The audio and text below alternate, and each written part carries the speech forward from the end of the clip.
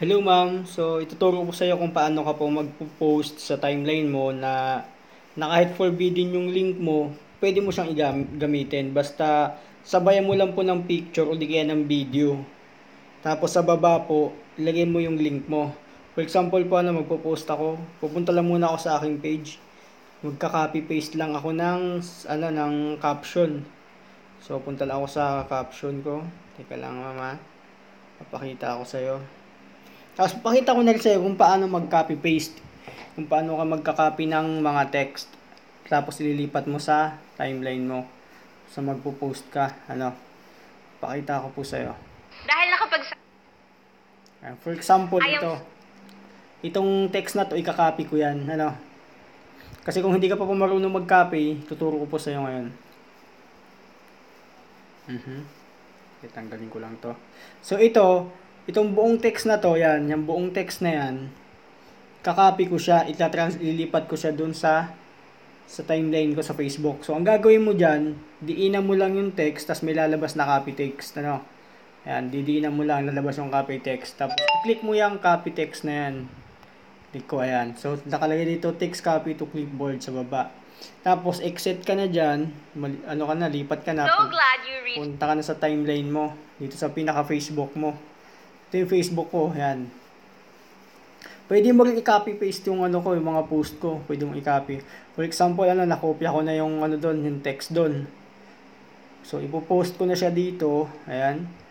Ipo-post ko na siya dito. Para ka lang mag, mag para ka lang magpo-post din dito. Ayan. Yan ako maglalagay dito. Ayan. So, didiinan ko lang din yan. Lalabas na yung paste. Ayan. Pag tinanggal mo yung kamay mo, lalabas yung paste. Di ba?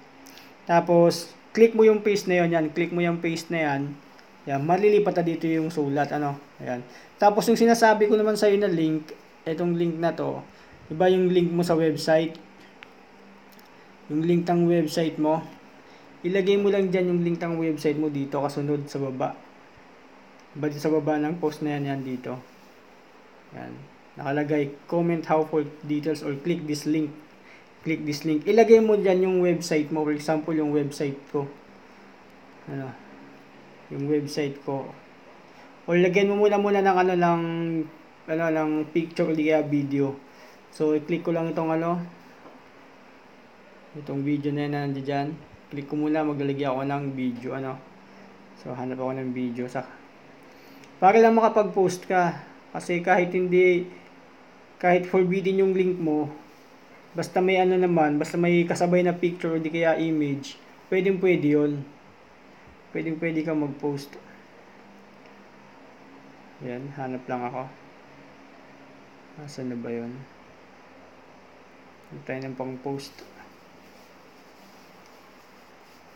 So, ito ang aking ipopost yan. Ito. Yan, done. Yan ang aking ipopost, ano. Tapos, lalagay ko na dyan, dito sa baba, ilalagay ko na yung, dyan, ilalagay ko na yung link ko, ano, yung website. So, www. dot www. positive mind. Ayan. Positive. Eh, din, gamitan ko na pala ng bitly. Bibitly ko na siya. Bitly na. May bitly na ilalagay ko. http and bit dot bit dot ly and get your online store now. So, ayan. Yan yung link ko, ano. Makikita mo, yan yung akin link. So, nilagay ko dito. Tapos, lalagay mo sa baba. Ang lagi mong ilalagay sa baba, ito yan, link na yan. Comment how full details or click this link below. So, ganun lang kadali, ano. Para kahit ano, pwede mo siyang i-post. Tapos, ikik, pag clinic naman ni client yan, automatic mapupunta na siya dun sa sa website mo. So, ganun lang kadali. Tapos, click mo na itong ano, yung share na yan. Post ko na ano. Post ko siya. Ayan, posting na siya. Highlight, highlights. Tingnan lang natin ha.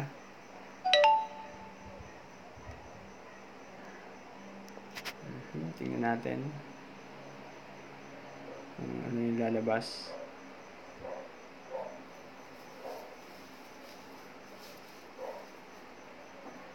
Bagal niya. Ano bagay. Ayun na, so na-post ko na siya. Yan, andito na yung post. Ka-exit mo tayo. Tapos balik tayo doon. Refresh natin na yan. Dito Hello, na I'm siya, oh. Peña, isang full-time Nandyan na siya, di ba? So, na yan.